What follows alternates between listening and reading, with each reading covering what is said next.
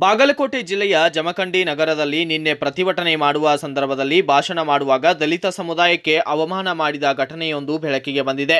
ಈ ಪದ ಬಳಕೆ ಮಾಡಿದ ವ್ಯಕ್ತಿಯ ವಿರುದ್ಧ ಸಾವಳಗಿಯ ದಲಿತ ಸಂಘಟನೆಗಳ ಒಕ್ಕೂಟದ ಪರವಾಗಿ ಉಪ ತಹಸೀಲ್ದಾರರ ಮೂಲಕ ಮನವಿಯನ್ನ ಸಲ್ಲಿಸಿದರು ಈ ಸಂದರ್ಭದಲ್ಲಿ ಮಾತನಾಡಿದ ಸಿದ್ದು ಬಂಡಿವಡ್ಡರ್, ಹೋರಾಟ ಮಾಡುವುದು ಪ್ರಜಾಪ್ರಭುತ್ವ ವ್ಯವಸ್ಥೆಯಲ್ಲಿ ಭಾರತದ ಪ್ರತಿಯೊಬ್ಬ ಪ್ರಜೆಯ ಸಂವಿಧಾನಬದ್ಧ ಹಕ್ಕು.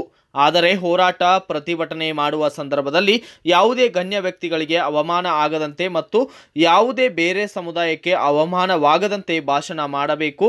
ಆದರೆ ನಿನ್ನೆ ಜಮಖಂಡಿ ನಗರದಲ್ಲಿ ಪ್ರತಿಭಟನೆ ಮಾಡುವ ಸಂದರ್ಭದಲ್ಲಿ ಉಮೇಶ್ ಆಲಮೇಲಖರ್ ಎಂಬ ವ್ಯಕ್ತಿ ಭಾಷಣ ಮಾಡುವಾಗ ದಲಿತರ ಬಗ್ಗೆ ಆಕ್ಷೇಪಾರ್ಹ ಪದ ಬಳಕೆ ಮಾಡಿದ್ದು, ಇದು ಇಡೀ ದಲಿತ ಸಮುದಾಯಕ್ಕೆ ಅವಮಾನ ಮಾಡಿದಂತಾಗಿದೆ. ಅಷ್ಟೇ ಅಲ್ಲದೆ ಇದಕ್ಕೆ ಸಂಬಂಧಪಟ್ಟಂತೆ ಇಂತಹ ಶಾಂತಿಯುತ ಸಮಾಜದಲ್ಲಿ ಕೋಮು ಗಲಭೆ ಸೃಷ್ಟಿಗೆ ಕಾರಣವಾಗುತ್ತವೆ. ಆದ ಕಾರಣ ಆಕ್ಷೇಪಾರ್ಹ ಪದಗಳನ್ನು ಬಳಸಿ ಭಾಷಣ ಮಾಡಿದವನ ಮೇಲೆ ಮೇಲಾಧಿಕಾರಿಗಳು ಸ್ವಯಂ ಪ್ರೇರಿತವಾಗಿ ದೂರು ದಾಖಲಿಸಿ ಸೂಕ್ತ ಕಾನೂನು ಕ್ರಮ ಕೈಗೊಳ್ಳಬೇಕು. ಒಂದು ವೇಳೆ ರಾಜಕೀಯ ಒತ್ತಡಕ್ಕೆ ಮಣಿದು ಪ್ರಕರಣ ದಾಖಲಿಸಿಕೊಳ್ಳದಿದ್ದರೆ ಮುಂದಿನ ದಿನಮಾನಗಳಲ್ಲಿ ಉಗ್ರವಾದ ಹೋರಾಟ ಮಾಡಲಾಗುವುದು ಎಂದು ಹೇಳಿದ್ದಾರೆ.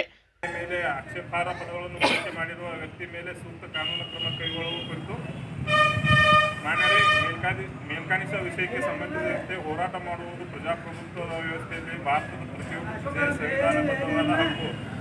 ಆದರೆ ಹೋರಾಟ ಮತ್ತು ಪ್ರತಿಭಟನೆ ಮಾಡುವ ಸಂದರ್ಭದಲ್ಲಿ ಯಾವುದೇ ಗಣ್ಯ ವ್ಯಕ್ತಿಗಳಿಗೆ ಅವಮಾನ ಆಗದಂತ ಮತ್ತು ಬೇರೆ ಯಾವುದೇ ಸಮುದಾಯಕ್ಕೆ ಅವಮಾನವಾಗದಂತೆ ಹಾಗೂ ಸಮ ಸಮಾಜದ ಯಾವ ಒಬ್ಬ ವ್ಯಕ್ತಿಗೂ ಮನುಷ್ಯಗೂ ನೋವಾಗದಂತೆ ಭಾಷಣ ಮಾಡಬೇಕೆನ್ನುವುದು ಕಾನೂನು ಕಾನೂನಿನ ನಿಯಮವಾಗಿದೆ.